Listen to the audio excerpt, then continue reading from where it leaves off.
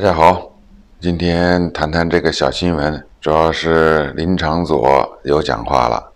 我看看他的讲话呢，把中共给拉进来了，什么意思呢？我们先看看标题，标题说林长佐称山 Q 成功是中共渗透，马英九傻眼，听不懂他在讲什么。台湾激进立委陈柏惟罢免案通过，面临第二阶段联署罢免的。台北市中正万华区无党籍立委林长佐呼吁国民党主席朱立伦适可而止，并指陈柏惟遭罢免是中共势力渗透所致。对此，前总统马英九直言完全听不懂他在讲什么，什么事情都抹红，这国家怎么治理呢？底下还有一些论述，我就不说了。这是一个很小的小新闻，小新闻我看完了以后呢，我觉得。这个林长佐呢，从大的阵营来说，他是绿的。那在这种情况下，你看看这个罢免案呢，他们怎么不直接罢免这个民进党的立委呢？怎么就罢免这些似绿不绿这种民进党的周边的小爪牙？他们就罢这个东西呢？但是他这个话呢，就扣到了我们前面说的一个论点。就是现在这个民进党啊，他把所有的和选举相关的议题都归结于和中共作战，也就是你只要选举，只要不是向着我民进党的，你就是中共。陈伯维就是民进党的，他只是换了个名字叫激进党，所以你要跟我民进党作战，得。你把陈伯文弄掉，我就说是中共所为。今天这个林长佐呢也来了，同一个调。这个调呢，我相信呢是发自于民进党的竞选总部的，应该是从那个地方放出来的消息。什么消息呢？就是我们前面说过了，现在民进党他在选举这个一盘棋当中，他的目的两个是必须要胜的。第一个，下边这个六都市长。第二个是二零二四总统，他必须要拿过来，透过什么东西呢？拿过来呢，就是透过他的中选会直接做票就可以拿过来。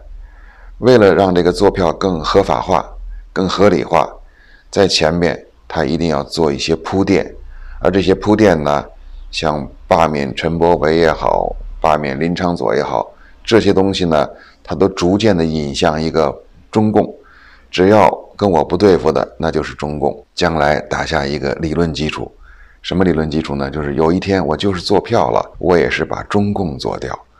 这样的话，那些选务人员、那些网军，他们就问心无愧，觉得哎，我就要这么干，因为上面让我要这么干的，就要做赢。为什么？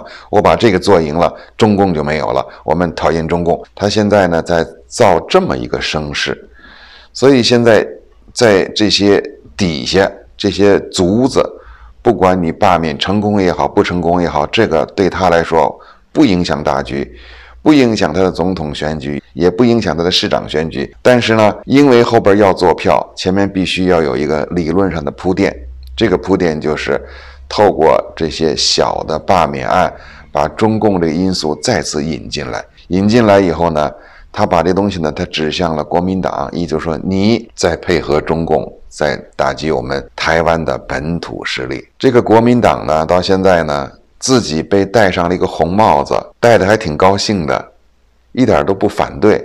你给我戴红帽子，哎，我就戴着，配合民进党在演戏。配合民进党在未来的选举去做票，在这个过程当中呢，我感觉中共是无辜的。中共在这个问题上，他不会去就陈伯维这个事情，甚至对你这个林昌佐的事情，他做任何的动作没有意义，对他们来说没道理，我看不出来。但是呢，民进党内部这个操盘手啊，他就在操作这东西，给谁看呢？一部分是给台湾的百姓看，一部分是给自己的网军、给自己的选务人员，告诉他们，给他们打强心剂，说这个现在我们就得这么干，不这么干的话，中共就来了，我们要下台，中共就上台了。他们在灌输这个东西。林昌佐这种说法呢，更验证了我们前面说的，民进党在弃卒保车，弃掉这一块他没输。民进党这盘下来以后，他没输。他得到了什么？得到了一个我后边坐票就合法化了，我后边就一定要让我的人当选，绝对不能让国民党胜。因此，二零二二这次选举下来以后，民进党大胜，国民党不要玩了。现在有很多节目，包括中天的节目啊。一些这个评论员，哎呀，兴奋的不得了，呀，胜利啦！我们要乘胜追击呀！我觉得这个都是假象，这个不是真相。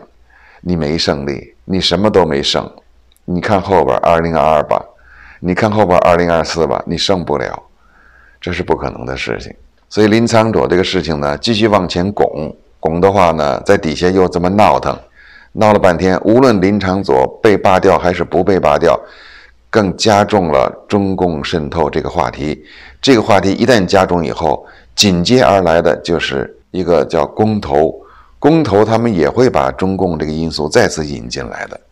引进来以后呢，不断不断的升温、升温、升温，升到明年二零二二真正到试选的时候，一把把中共做掉，然后民进党全上来，他们觉得理所应当。这个就是他们的最终目的。我能看出来的是这样的。这是第一个话题。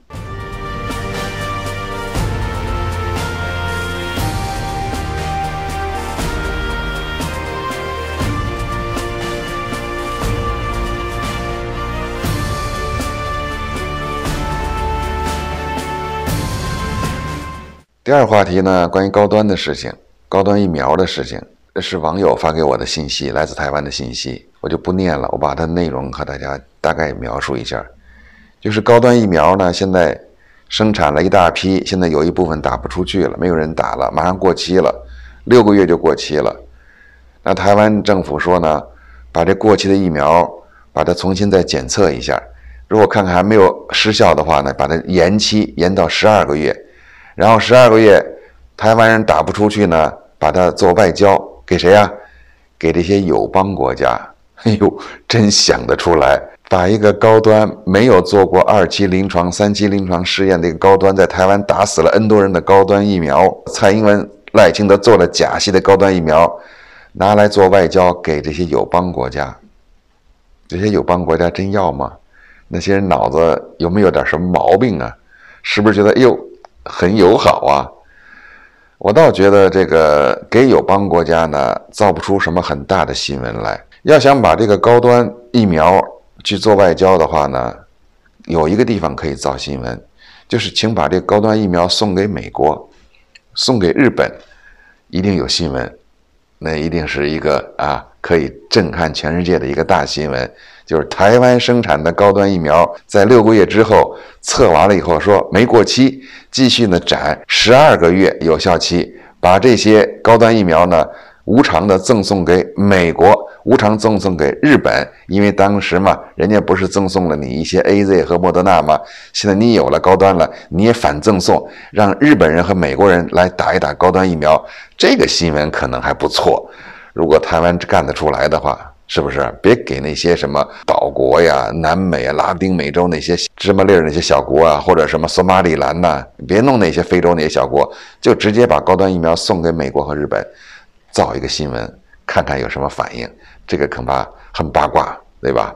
我也知道这是个八卦，但是呢，你送给那些友邦，那些可怜的那些友邦啊，真的要啊？